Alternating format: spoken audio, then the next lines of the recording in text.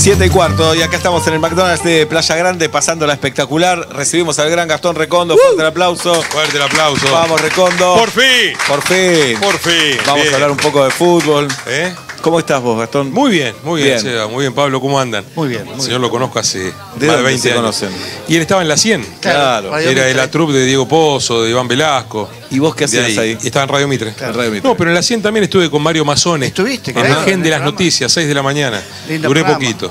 ¿Por qué? ¿Por el horario? Porque me costaba levantarme temprano y, ahora estoy levantándome a las 4 y media todos los días. Porque que- ahora haces CNN. No, no, hago D-Sports a la mañana temprano, de 6 a 9. Eh, soy un boludo. Este, perdón. con Ceci. Rufa, con Sí. Emi Pinzón, con el Masi y con Fersi Cuti la pasamos espectacular. ¿Qué hora te despertás ahí? 4 y 40. Pa, Difícil, ¿eh? 4.40. Pero como nos reímos las 3 horas, claro, te levantás con ganas. la pasás bien. Sí, sí. Pero te dormís a las 9, 10 de la noche más o menos. Y cuando no hay fútbol, sí. Claro. 9 y media estoy boca abajo, Ajá. babeando y sí. ¿Nunca te aburrió el fútbol, Gastón? Jamás. Jamás, nunca, nunca, nunca. No, pero el deporte en general no me aburre. Ajá. Este, ¿Hay cualquier algún cosa. deporte que te guste tanto como el fútbol o no? Y los domingos, el fútbol americano. No de, Red Zone, de Red Zone los domingos es adictivo. Sí, mirá Sí. vos. Y después, cuando hay instancias decisivas del básquet, de la NBA o de, o de Europa, lo miro mucho. Cuando jugaba Federer lo miraba siempre. Eh, el vóley ahora me enganchó un montón. Por ahí porque uno de mis hijos juega, entonces Ah, también me, bien. me- me despertó eso. Pero y el juega- rugby, el rugby cuando son los Pumas y demás también. Bien. ¿Te gusta cuando está la camiseta argentina? Ahí te Eh, gusta. Eso siempre, cualquier cosa. Claro. El handball, cualquier cosa. Ahora, eh, de, de liga, de equipos, de todo, si, so- si hay algo interesante que está pasando, también. Sí, sí, sí, también. ¿Y algún deporte en particular que decís no le entro? El automovilismo. Me cuesta horrores. Ve- Veo una carrera cada tanto y me encanta hablar, no sé, tenemos una mesa semanal en la que uno de los integrantes es Esteban Tuero. Lo taladro a preguntas porque me encanta saber y entender. Claro. Lo que no consigo es que me apasione. Todo lo demás me apasiona. Porque es difícil, ¿no? Que te apasione. A mí tampoco me apasiona el automovilismo, pero debe ser de los por- deportes más populares de Argentina. No, es, obviamente, es uno de los que más Sí. moviliza. Eh, a ver, a mí lo que más me apasiona es la comunicación. Sí. Eh, pero no me aburro nunca de mirar, de mirar en vivo. Vos me decís, un resumen y no. Está pasando ahora, me quedo. Te quedás. Porque además es lo que me queda acá. Todo me cargan con la memoria. Y yo me acuerdo de todo lo que vi en vivo. Si lo vi en un resumen, lo más probable es que me olvide. Es verdad. Pero el periodista deportivo es memorioso. El futbolero es memorioso, ¿no? El futbolero es muy memorioso. Sí, igual se miente el futbolero. A ver. Eh, por ahí te pasó. Viste que estabas en la cancha de más chico y vos decías, no, la clavó en el ángulo. Y ese día hoy estás convencido. Y de golpe, un día en lo mejor fútbol, viste, el expediente fútbol, qué sé yo. Ah, pegó un defensor y entró. Claro, y entró abajo. Y digo, Sí. pero si yo la vi que entró en el ángulo, Claro. no a media altura. Pero pará, ¿y cómo estás con la memoria reciente? Porque yo de los 80 te digo todos los equipos. De ahora, que encima cambian cada seis meses, Y- es imposible. Y ¿no? es difícil, pero más o menos Sí. la llevo porque es mi laburo. Es tu laburo, Al hablar de eso todos los días es más fácil también. Pero un, un periodista que hacía eh, campo de juego me decía que le es difícil conocer a los jugadores nombre y cara, además. No, no, lo más difícil es ubicarlos cuando no tienen la camiseta puesta. Claro. Te los cruzás por acá caminando, queda mal con cualquiera. Porque son parecidos todos. No, además. porque además vienen vestidos de civil y vos le buscás el, escudito o el número que Claro. te diga la posición y decís, yo lo, yo lo hice a este, yo hice vestuario con este, y Sí. quedás mal y te dice, no te acuerdas de mí, ayúdame. Ayúdame, claro. La, la- la palabra clave es ayúdame. Hay algo raro, porque era al revés antes. El- es más cono- ahora es más conocido el periodista que el jugador, o algunos periodistas. Me da mucha vergüenza Claro. cuando estoy con un protagonista eh, que por ahí ya no está de moda y estoy charlando y viene alguien y te dice, ¿puede ser una foto? Ah. Por favor, no me digas eso. Y estás con alguien que fue. No, con alguien con quien yo me quiero sacar una foto. Claro, claro, Y claro. te van a decirle, ¿sabes quién es? ¿Te puedes ubicar? Pero Sí. no, no. Hoy me pareció ver al Cata Díaz. Y me dio- ¿Acá? sí, me dio ¿Y? vergüenza pararlo. ¿Por qué? No sé, pero estoy seguro que yo estaba con mi hija. Mi hija le doy vergüenza yo a ella. Entonces no quería pasar ese momento, pero Eh, sí. soy cholulo de los futbolistas también. sí, por cómo no. supuesto. Todo. No, sí. Yo, eh, de futbolista que veo, me. ¿Todavía? Más, un y mirá, este, por, por la tarea eh, nos permite estar en lugares de mucho privilegio. Ajá. Eh, yo una vez lo vi a Van Basten. Van Basten era el jugador que yo más admiraba fuera de los argentinos, ¿viste? Y Marco Van Basten, en el Mundial 98 Argentina pierde con Holanda. eh, vamos a cambiar los pasajes para volvernos a un aeropuerto, porque no había oficina de viaje, nada, era aeropuerto. Y llego y estaba él eh, haciendo el check-in. con la familia. Y lo encaré, viste, la cámara de rollo, la misma cámara, la misma cámara con la que me saqué la foto con Luis Miguel. Este, el mismo viaje. Escuchá, porque aparte era la de revelado. Sí, ¿viste? claro. La que se corría hacia abajo. además, espero que haya salido bien, te enterás cuando Claro, por favor no cierre los ojos, Claro. mirá la cámara. Bueno, y ahí me saqué la foto sin drama. Siete años más tarde, sorteo el Mundial de Alemania en Leipzig, un Leipzig gris, bien del este, todavía no se había puesto a, Occidente, ¿no?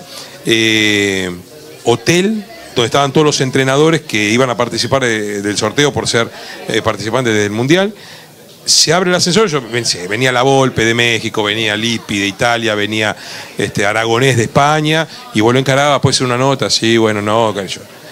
Viene Van Basten, se abre la puerta, Van Basten, Van Basten. ¿Pasa por acá? ¿Marco? Sí, pasó. Yo no lo podía, ni se me ocurría Claro. interrumpirlo. Y el camarógrafo me dice, vos, vos sos tarado. Este, y no puedo. No y no pude. Pará. Y no pude. Fue la única vez que no pude hacer una nota. Mirá. Y eso que. Pude con Diego. Eso te iba a decir. No, pude con Diego, pude con Messi, pude con. Pero Él, mirá. No. Me acuerdo del gol en, en la Eurocopa. Es, Ah, el gol a. Saev, Increíble. 88, Increíble. en el Olímpico de Múnich. Pará, ¿cuánto te dio este oficio, digo? ¿Cuánto viajaste? Mucho, ¿No? demasiado. ¿Qué, qué es lo más loco? Islandia. Islandia. Sí, porque cuando ¿Por qué ganamos. Islandia? Porque el sorteo de Rusia Nos nos, toca. toca Islandia. Ajá. Y yo había. eh, soy OPSE. Entonces yo ya me había hecho todo el viaje eh, para que cuando volviéramos hiciéramos Manchester, Barcelona, Madrid. Y en Manchester en dos días hacer cinco notas. En Barcelona a Messi y a Macherano. Y en Madrid cuatro notas en un día. Eran dos días, en, dos, dos y uno. Ajá. En cinco días liquidar 14 notas más o menos. Este. Y cuando estamos yendo de Manchester a Barcelona, no vayan a Madrid, váyanse a Islandia. Y yo digo, yo voy a Madrid porque arreglé la nota con Simeone, Augusto Fernández, Mercado que estaba jugando de visitante, Ángel Correa, digo, yo acá a Claro. Madrid voy. Este, bueno, listo, vayan después. Y después caímos en Reykjavik, que en realidad el aeropuerto es de Keflavik. Y de ahí te vas, imagínate, 10 de diciembre, veníamos de 15 grados bajo cero en Moscú y caemos en Islandia, una isla que es volcánica, que tiene 90% de roca, totalmente helada, el geyser funcionando, fuimos a ver el geyser, un, Blue Lagoon, unas piletas con agua volcánica tipo termales, eh, que claro, a las 7 de la tarde fuimos, teníamos el, el turno nuestro a las 7 de la tarde, y era una neblina, qué sé yo, y era un delirio, todo un delirio. Un delirio. Islandia, lo único que no pude ver fueron las auroras boreales, Claro. pero fue un... Y es más, me consiguen la nota, había un, un islandés que vivió en Rosario un año, se hizo hincha de Central. Espectacular. Entonces, como había sido medio nota en Infobae, qué sé yo, lo buscamos por Instagram, yo le escribí y le digo, mirá, yo soy periodista. Sí, yo veía estudio fútbol, me dice, chao. Adentro, digo, Vamos. pará, nos fue a buscar el flaco con la camioneta de los padres. Los padres se fueron de vacaciones y dejaron la camioneta. Una, este, Una camioneta- un Sí, avión. Sí, una, Un avión. no, una que se bancaba el hielo. Claro. Entonces, el tipo nos hizo de guía turístico, de chofer, de y aparte dice, no, yo conozco a alguien que conoce al técnico a Halmson. ¿Qué era odontólogo? Claro, Te- pará, escucha esto. Entonces, él vivía, Islandia es una isla de 300.000 habitantes, y hay una islita al lado que se llama Vestmannaeyjar, donde viven 4.000 personas. Ahí vive el técnico de la selec- vivía el técnico de la selección, hoy es el técnico de Jamaica. Eh, nos tomamos una avioneta en una casa. ¿Cómo en una casa? Claro, fuimos a una Ah, casa. Y salía de ahí la avioneta. Fue a una casa, entraba un papelito acá, te, agarra este papel, sí, ¿cómo se llama usted? Sebastián Wanreich, listo, pim, pim, pim, de pasaporte, a ver, pim, listo, suba. Entonces subimos una chancha. ¿Miedo o no? No, a mí no, No, me da miedo nada. no te da miedo. Este, chancha, así como subió, todo congelado, el mar gris, plateado, bajamos. ¿Quién nos estaba esperando? En la casa de... El técnico. Él, eh, con su camioneta, una polera hasta acá arriba, todo. Nos cargó las cosas en su baúl y nos llevó. Nos hizo pasear por el pueblo, nos llevó a la casa. En la casa una puertita acá, una escalera y arriba un living, todo alfombrado, había que sacarse los zapatos. ¿Y quién estaba esperando? El ayudante de campo, el Pablo Aymar de Scaloni, haciéndonos cafecito, todo, al productor, al cámara y a mí. Entonces nos ponemos a charlar, yo subo a hacer una nota, como había como un playroom, no sé qué era, con unos puffs, hacemos la nota ahí, termino y dice, bueno, ahora ustedes se van a quedar con ellos, yo tengo que ir abajo a atender a un paciente. Muy bueno. Él los va a llevar a que coman algo. Pará. Y bajó y empezó a sacar una muela a un islandés. Y a ese equipo no le pudimos ganar. Eso, eso. y es el día es que se burlan como- de mí Claro. porque dije, ojo con Islandia. Lo, lo cantaste. Sí, Que Messi erró el penal ese día. además. se lo atajaron. Se lo atajaron. Bueno, errar y tirarla afuera. tenés razón. Sí. Gol del Kun Agüero. Sí. Eh, Messi se lo tajan cuando íbamos 1 a 0. 1 a 1. 1 a 1. Segundo tiempo. Qué locura, ¿no? Sí. Es un lugar La memoria, pero- qué locura. Sí, pero eso es lo lindo del fútbol. De, de verdad lo digo. No, es espantoso. es espantoso cuando. Porque Messi si por ese Argentina, penal, por ese penal jugó su peor partido con Croacia. Estaba deprimido. Ese penal lo paralizó. Mm. Es como dijo, no me puede pasar. Ya venía, venía complicada la mano, pero, Pero algo cambió, porque con Polonia, ahora erró un penal, la gente lo levantó. lo levantó la gente. La gente lo levantó al toque. Lo que pasó ese día en el 974, Estábamos ahí. Pero vos viste que a él le ataja el penal Chesney, él lo patea bien. Pero Chesney es ¿Cómo te impresionante. el nombre del arquero de Polonia? Y sí, sí es el arquero de la Juventus. Está bien. Este, se lo saca. Sí. eh, aparte a todos los culpables los tenemos a todos. Claro. Entonces, este, viste, él, todos temimos que le agarrara ese bajón de sentirse responsable porque él sabía que cargaba con la ilusión de tantos. La gente no lo dejó caerse y en la siguiente jugada era dale, y dale, y los Sí. compañeros le empezaron a, a dar la pelota rápido, que entendieron el mensaje de la gente. Para mí fue magia. Eh, el Qatar fue mágico. Mágico. Mágico. Cuando Messi sale de Arabia a la media hora de que está, nosotros en shock, y sale Messi del vestuario y dice que la gente se quede, tra- que confíe. No los vamos a dejar tirados. Yo no entiendo por qué dicen eh, creer cuando en realidad es confíe la palabra de él. Claro. La palabra de él fue confiar, no fue Es creer. más lindo creer, me no, pero creer es de Gallardo. Ah. Entonces, digamos, está buenísimo, para los hinchas de River Bien, está genial. claro. Pero el- eh, la palabra de Messi fue confiar. ¿Es verdad que Messi le dijo a los compañeros, yo hablo? ¿Hablo yo? No, pero habló Di María también Habló Di. María. Ah. Hablaron los grandes. Habló Ok. Tamendi, Di María, eh, Messi y el Dibu. ¿Y qué va a pasar, Gastón, con la selección ahora? Va a seguir hasta la Copa América Scaloni y, ¿Y después y después no sé. Después no sé. Digamos, ser contundente sería imprudente. Ok. Eh, ¿Y cuál es el problema? Si es que hay un problema. a ver, ¿son tres patas? En realidad somos cuatro, pero a los hinchas sacarlo porque los hinchas son incondicionales, Sí. más con este grupo. Quedan tres patas. El presidente, el técnico, Y los jugadores. los jugadores. Todos sienten que sacaron, digamos, todos sienten que ya son eternos, con lo cual se vuelven intocables, y que sacaron campeón al otro. Vos sos campeón del mundo gracias a lo que yo hice. Claro. Lo piensa Tapia, a ver, viene en la raza humana, lo puede pensar con todo derecho Tapia sobre Scaloni, y lo puede pensar Scaloni sobre Tapia. O sea, ¿quién hubiera puesto a Scaloni ahí? Nadie. Nadie. Solo Tapia.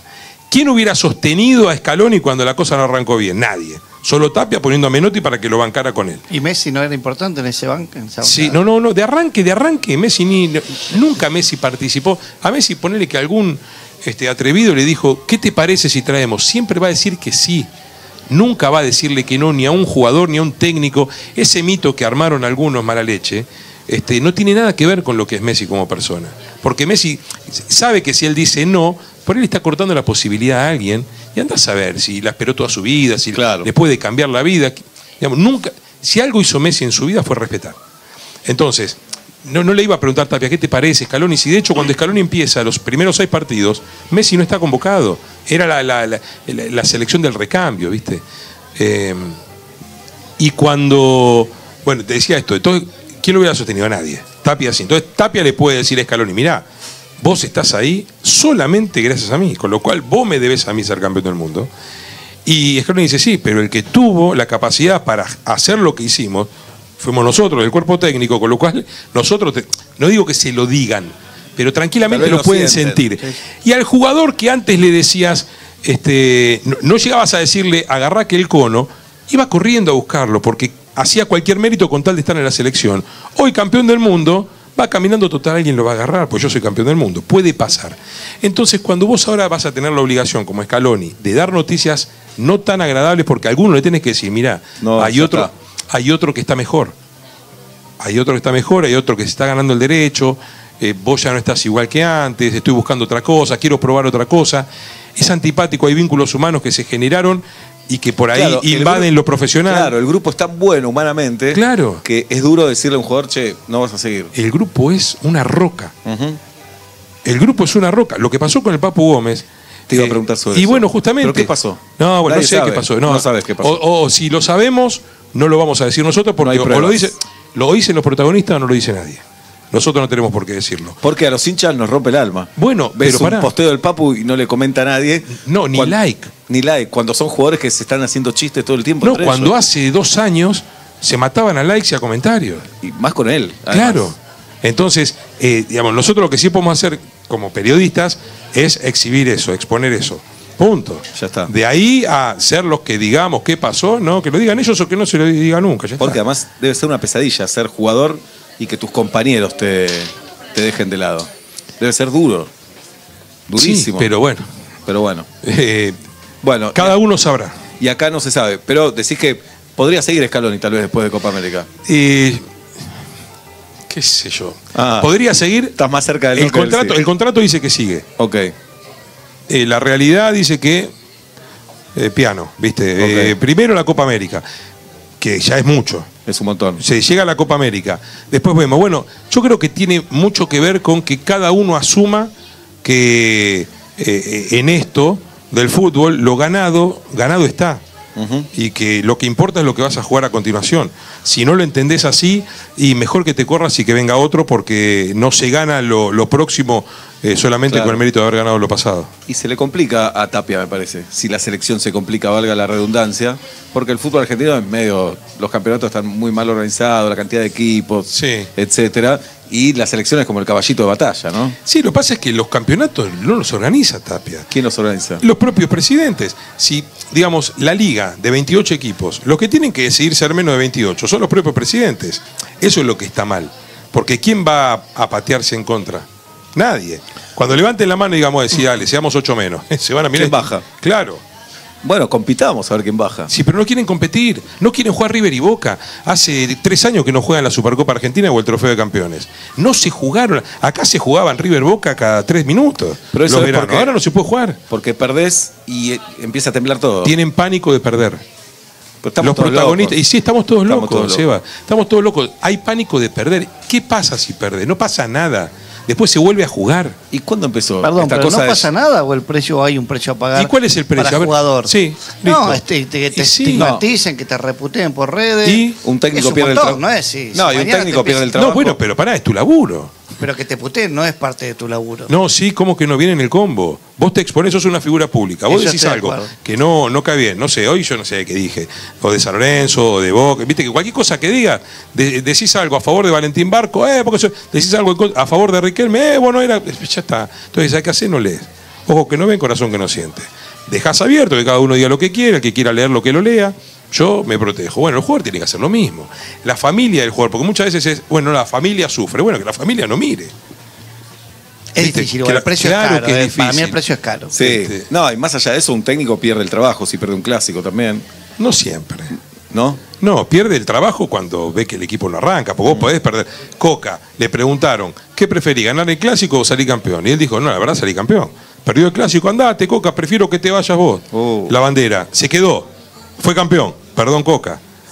¿Entendés? Es una estupidez, en el fondo es una estupidez. Pero, pero ¿me entendés? O sea, además campeón es uno. pero además, Sí. en el mismo campeonato le colgaron la bandera, prefiero. eh, La pregunta era, ¿qué preferís? ¿Ganar el clásico, era el domingo, o salir campeón? Y Coca dijo, ante, yo prefiero, la- eh, prefiero ganar las dos cosas. Si puedo elegir una solamente, bueno, salir campeón. El domingo pierde con Independiente, a la fecha siguiente de local, prefiero que te vayas. Usando el, el verbo, prefiero. Sí. Bien. Siguió Coca, lo bancó Blanco.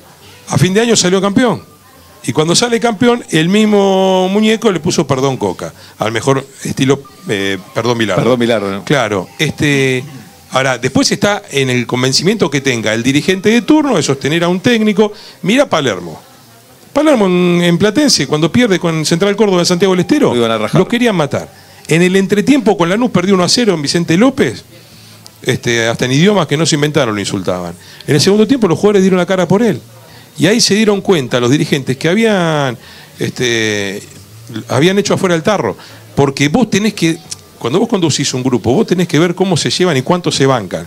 Después la pelota puede pegar en el palo, entrar o pegar en el palo y salir.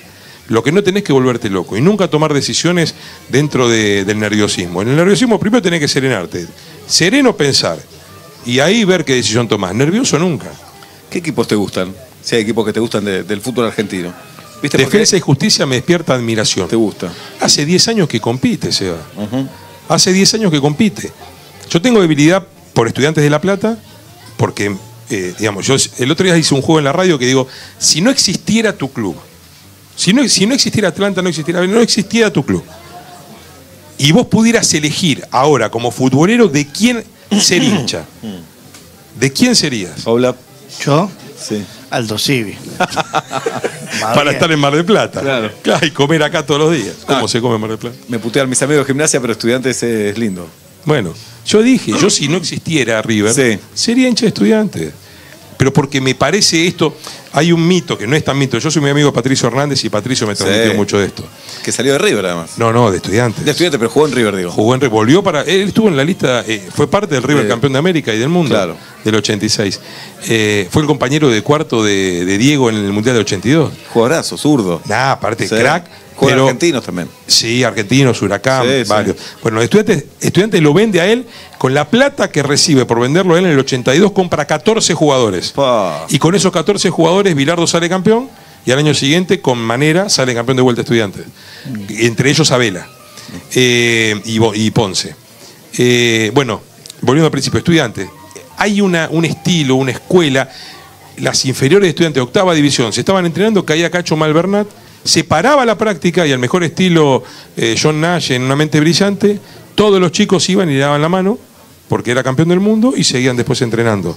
Pero primero se paraba lo que estaba pasando porque entraba un campeón del mundo. Entonces vos cuando estás ahí es como que eh, ingerís el espíritu del club en el que estás formándote las 24 horas o mientras estés adentro del club. Pará, ¿y vos seguís siendo de River como siempre? ¿O los años de periodismo y eso te, te alejan de la pasión? No, son dos cosas diferentes. Yo sé, eh, sé dónde está lo importante. Lo más importante está en, en ser profesional, porque para que mis hijos vayan al colegio y coman, y que yo, yo tengo que hacer mi Además tenés cinco pibes. Mira, una frase de Enrique Cinco Macaya pibes.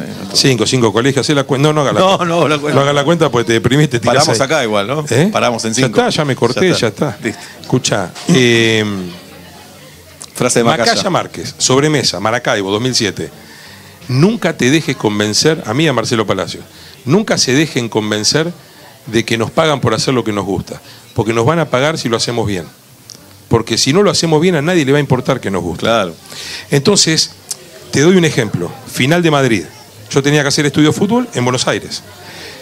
Terminaba, hacía estudio de fútbol hasta que empezaba el partido, Domingol, Garófalo relatando, terminaba Domingol y volvía a estudio de fútbol.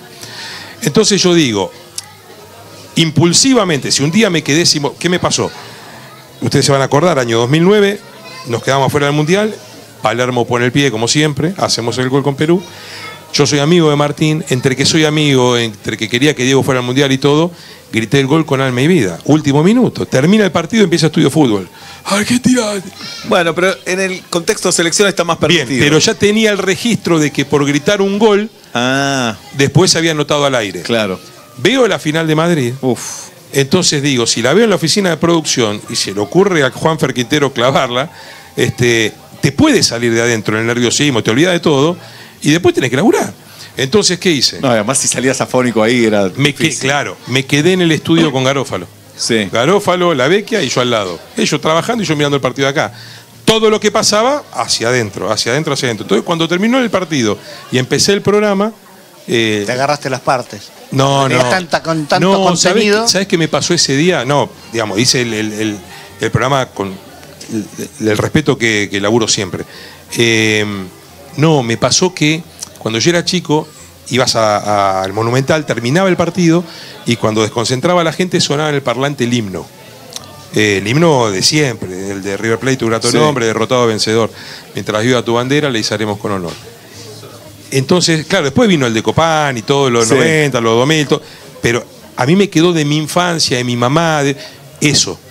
Entonces empiezo el aire y eran imágenes, los goles, los festejos en el obelisco, en la cancha de que yo, este, pero el sonido ambiente del estadio, sonido ambiente del estadio. ¿Del Bernabéu o del Monumental? Del Bernabéu. Sí. Y mientras yo estoy hablando, escucho el himno. Te, te quebró eso. Me quebró. Me quebró, ¿viste? Cuando voy a decir. Y no me puedo permitir quebrarme porque estoy laburando. ¿Me entendés? Este, y además trato de ser cuidadoso con cada comentario. No, es, no, es- no, no estamos más para hacer mar de fondo. ¿Me entendés? No, no está dada la circunstancia pena. para bardearnos. Es una pena eso, ¿no? Que no, no exista el chiste, la chicana. Que vos Pero vuelven a jugar Aldo Civi y Alvarado después de 27 Sí, años, sí. Sebastián. Pero nos volvimos locos. Claro que ¿Cómo nos no le vas a poder locos? hacer chiste a un hincha de boca y que el de boca te joda? No se puede. No pasa nada. No se puede porque no lo entienden como un chiste y porque Claro. creen que porque hiciste un chiste después, entonces todo lo que decís está teñido Sí. de, de los colores. El que dice que no es hincha de ninguno, bueno. Es mentira. no sé si es mentira o verdad, y si es mentira, eh, no gana nada no diciéndolo para mí. Este, yo, no, digamos, sería lindo si todos lo dijeran. Va, pero, ¿qué no, sería yo? lindo si todos respetáramos Claro. este, que alguien está haciendo su trabajo responsablemente. Porque si lo pensás desde el lugar más básico, ¿cómo te vas a enojar con alguien porque es hincha de un equipo? no, bueno. ¿Entendés? Pero Y aparte, aparte- yo soy amigo de Palermo, Sí. ¿sí? Claro. Muy amigo de Martín. Ídolo de boca. Es más, eh, Ariel si no sé ahí me carga porque dice que es el síndrome de Estocolmo más grande que conoce Claro, el periodismo deportivo. claro, sí. Este, y ¿qué pasa? si yo hubiera sido eh, tan obtuso de no reconocer nada de lo que pasaba del otro lado, Martín nunca jamás en la vida se hubiera permitido entrar en una relación conmigo. Pero aparte hay algo, me, me parece a mí, eh, bastante torpe, que es eh, que esté mal que vos tengas una pasión y que tal vez se vea afectado tu opinión. Como que la opinión del, fut- de- del periodista tiene que ser totalmente ecuánime, cosa que sabemos que no existe. Ah, No, no tiene que ver con quién sos hincha vos. No. Todos, todos opinamos cuando hablamos. Sí. Entonces me parece que esa pretensión también de que cualquier cosa que digas vos no vale porque está teñida es, sí vale. Además es hincha de. Pero no perdés, no, No, pero pierde no. peso. Si Boca juega bien, lo vas a decir, obviamente. Pero pará, yo Sí. a, a Carlos Bianchi lo contrataban de empresas y el que a por él proponía que yo fuera el moderador de esa charla. Y yo hacía mar de fondo. O sea, vos podés ser respetuoso siempre. O sea, yo soy muy hincha del hincha de fútbol. Cada vez lo puedo decir menos, porque ponerle, a mí me pasan, eh, yo siento por Vélez, no soy hincha de Vélez, pero yo quiero que a Vélez le vaya bien, siempre. ¿Por qué? Antes de Ginsburg y después de Jorge ni Ah, hablar. claro. No, no, no, antes, de, Jorge. Ginsburg. ¿Por qué? Porque primero es la camiseta más linda del mundo. Segundo, la titular, ¿eh? Eh, sobre todo la del 84, esa, de esa época. Cuando Tremendo. no era el Vélez ganador todavía. No, no, no, no, no. Este, yo tenía un compañero en el colegio que después fue ayudante de Bianchi en Boca, este, José María Castro. Eh, él jugaba en, en Vélez. Y aparte la cancha es linda, me, me gustaba cómo jugaba, era competitivo. ¿Te cae bien? Me cae bien, me cae bien porque iba, cuando iba a cubrir entrenamientos veía un club que funcionaba para muchas disciplinas. Este, me gustaba, me gusta cómo juegan las inferiores, me gusta que apueste por las inferiores, me siento identificado. Este, ahora, por ahí vas a esa cancha y te comes un, un insulto, nada, vos qué haces algo, qué sé yo, no te puedo andar explicando. No, a cada uno, ¿no? ¿Viste? No, no. ¿Antes te preocupaba cuando te puteaban? Y que te vas acostumbrando, no es que te preocupa, vas descubriendo y, y ahora qué hago con esto, esto no me pasaba, ahora me pasa. Pero pasa poco, Pasa poco. pasa poco, porque también con el correr de los años, hoy me pasa que algunos pibes en el balneario me dicen, che, ¿vos de qué cuadro sos? Y está buenísimo que te lo digan. Claro. Porque si bien yo lo blanqueé en Mar de Fondo y todo, y a mí no me... No me no, Son digamos, pibes que ya no lo vieron eso. no lo vieron y que cuando me ven laburar, no perciben que yo tenga alguna animosidad con alguien, alguna preferencia por alguien. Sí, mis hijos son todos de River, somos todos socios. Yo ahora el 11 de diciembre este, recibí mi medalla y mi diploma de socio vitalicio. Muy bien. Este, y para mí fue muy movilizante, porque qué sé yo, yo hace, tengo 50, hace 50 años pago la cuota. Pará. Este, mis ¿Y qué hijos desde que nacieron todos. No le diste chance a tus hijos. No. No, eso no. Y aparte, a mis amigos hinchas de boca, los hijos son de boca. No, sí, Algún. Eh, pero es motivo de, de- de división familiar. Viene un tío. Pero, Pero ¿y si tu hijo en la mitad decía por él? ¿De qué? Papá, me quiero No. hacer de otro equipo. No hay ninguna chance. Pero tengo 20 años. Sí. ¿Tu hijo mayor cuánto tiene? Pero ¿cómo a los 20 años vas a cambiar de club? Bueno, Sebastián? qué sé yo. Nah, Puede no hay ninguna chance. ninguna chance. Nunca pasó. Te agarra distraído el padrino. Pero pará, yo creo que si tu padrino viene y te dice, eh, yo- yo no sé, el padrino, de casualidad los padrinos de mis hijos son todos de River. Sí, Pero claro. suponete que alguno Cuidaste fuera, eso. suponete que alguno fuera de otro cuadro. Sí. Y un día viene con la desubicación de trajo la Le camiseta. sacás la el título de padrino. No, no, el padrino no viene nunca más a la Claro, casa. no es más padrino. No hay más relación. No, no es que. Será el padrino. Che, ¿qué pasa? Porque yo nunca veo a mi padrino. Pues es un pavote.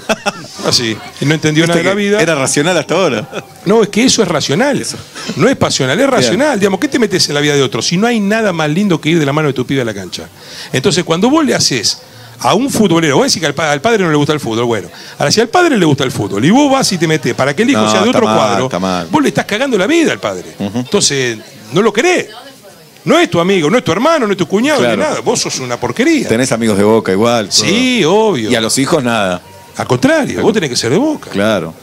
Es más, ni los cargo. Mira lo que te digo, ¿eh? Bien. Ni los cargo. ¿Tu mujer es de River? Sí. ¿Pesó en la elección? No, no, ayudo.